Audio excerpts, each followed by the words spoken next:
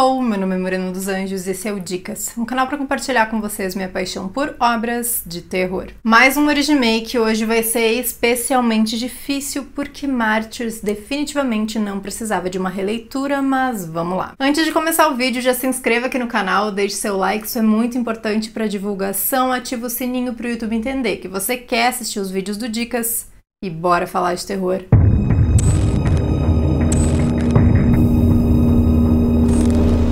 Lembrando que esse é um quadro com spoiler das obras. A premissa das duas é a mesma. Lúcia é uma garotinha que conseguiu fugir de um cativeiro, acabou em um orfanato onde conheceu a sua melhor amiga, Ana, mas não conseguiu viver em paz por conta de todo o tormento que passou e depois de um tempo acaba indo atrás de seus agressores. Martyrs, o original, é uma produção francesa de 2008, escrita e dirigida por Pascal Laugier, que junta o mais pesado do terror psicológico ao gore, se encaixando no New French Extremity, um subgênero que surgiu ali na virada do século 21, que abrange uma leva de filmes franceses de terror brutais. Tudo em Martyrs é pesado e complexo, do enredo às interpretações que nos deixam sem ar. O sofrimento que a atriz Milene Jampanois expressa durante todo o seu ato como Lucy é de uma veracidade absurda. Aquele tormento, aquele horror é real. E Morjana Laway, que foi tão convicta na sua atuação que conseguiu me fazer chorar. Isso mesmo, eu chorei em Martyrs e não foi de medo não, foi de tristeza. E só quem assistiu sabe do que eu tô falando. Ou seja, ele é um filme absurdamente violento no quesito sangueira, mas não é só sobre isso. No final das contas, ele quer te passar uma mensagem. O diretor até declarou que além das dificuldades com efeitos efeitos visuais, seu maior desafio era manter as atrizes chorando o tempo todo. Em termos de produção, o longa vai muito bem. A fotografia fria e desbotada o tempo inteiro nos passa aquele sentimento de vazio. A trilha sonora belíssima que contribui para essa atmosfera e os efeitos de maquiagem que, bom, a cena final fala por si só. É bem difícil para mim falar sobre ele porque atualmente ele é o meu filme preferido do gênero. Quando eu fiz o vídeo sobre o longa aqui no canal, ele tava no catálogo da Amazon Prime Video, mas infelizmente não tá mais.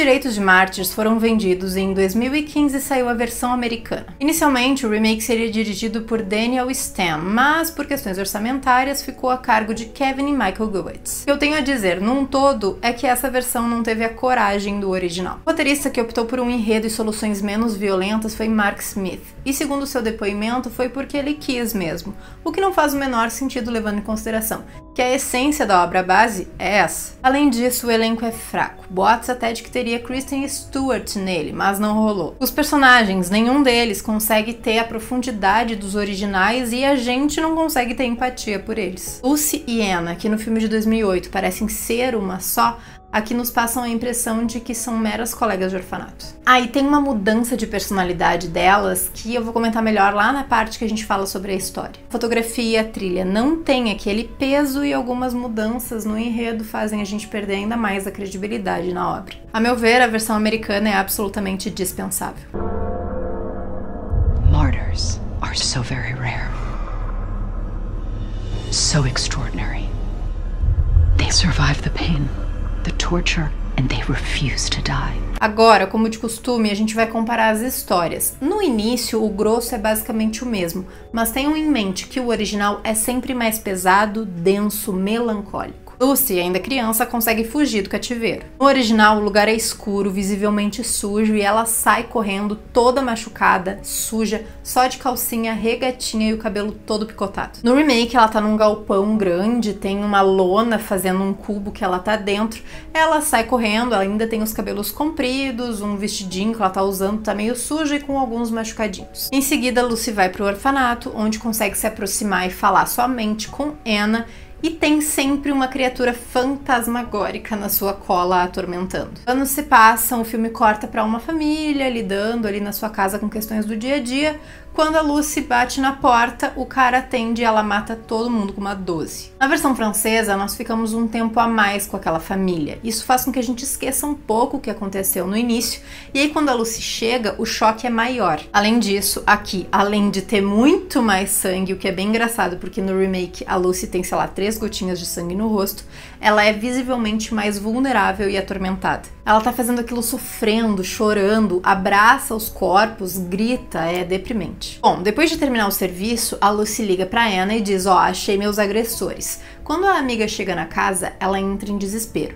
E é aqui que é notável a diferença de personalidade. No original, Lucy é a pessoa instável e debilitada. A Anna, por mais que esteja de fato em desespero, entre o choro que ela tem ali, ela tenta resolver o rolê. A refilmagem Lucy não é tão frágil assim e a Anna só quer saber de ir embora. Elas ficam lá tentando arrumar tudo até que a criatura volta para assombrar a personagem. E aí nós temos certeza de que aquilo é coisa da cabeça dela mesmo. Mais uma vez, a diferença no nível de violência é gritante, na estética da assombração inclusive.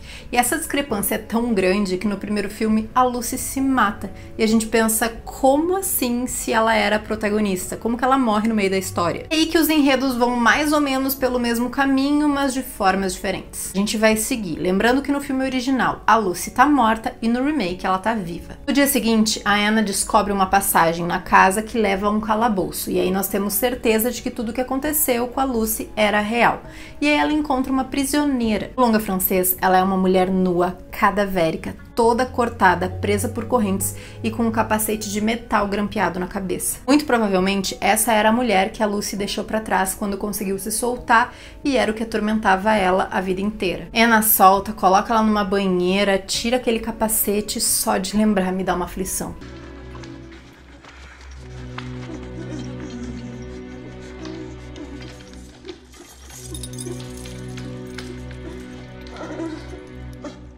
Entanto, pessoas visivelmente treinadas invadem a casa e prendem a Anna. No remake, ela encontra uma menina presa, mais ou menos a idade da Lucy lá no início do filme. Tá com um vestidinho, suja, machucada e tal.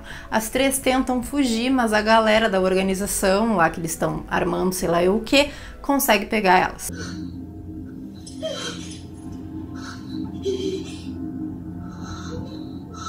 A versão original nos apresenta Mademoiselle, uma senhora elegante, chefona do rolê. Ele explica os experimentos que eles estão fazendo e que Lucy era apenas uma vítima, que vítimas são fáceis de encontrar, de construir, mas um mártir vai além do entendimento terreno. Après 15 ans, ça demande pas d'un certain panache. Pour le reste, Lucie n'est qu'une victime.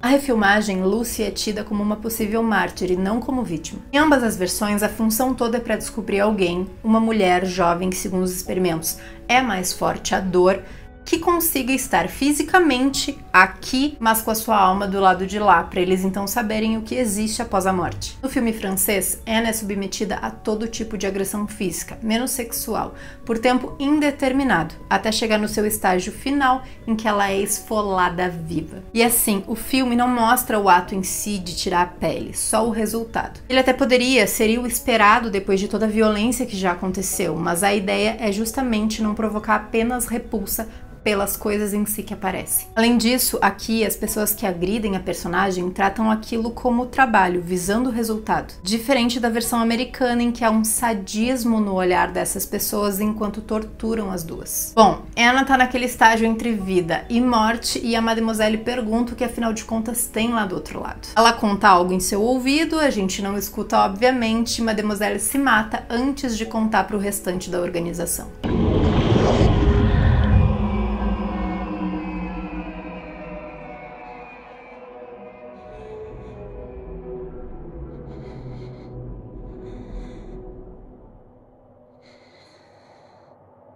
No remake, quem chega no estágio final é a Lucy, e mais uma vez faltou coragem, porque eles praticamente não mostram nada e tiram só a pele das costas dela. Além disso, essa versão tem um viés mais religioso, eles colocam ela no altar com uma cruz, tem um padre e tal. A Anna consegue se libertar porque eles iam enterrar ela viva, se arma e aí encontra uma mulher também que estava presa numa das celas.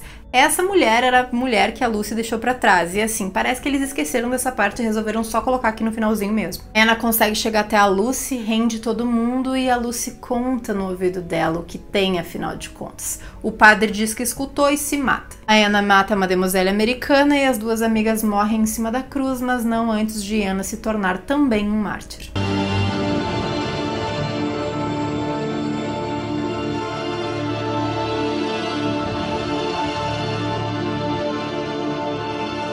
Gente, assim, totalmente dispensável. Se você tá aqui até agora e nunca assistiu Mártires, por favor, assiste a versão original francesa de 2008 do Pascal Laugier, se façam esse favor. Sou bem suspeita para falar desse filme no geral, mas em comparação, não há comparação, de verdade. E vocês gostam da história de Mártires ou acham um pouco bagunçado demais, muita coisa diferente ali no mesmo filme? Deixe aí nos comentários, me sigam lá no Instagram, Morena dos Anjos. Muito obrigada por terem assistido até aqui e até a próxima.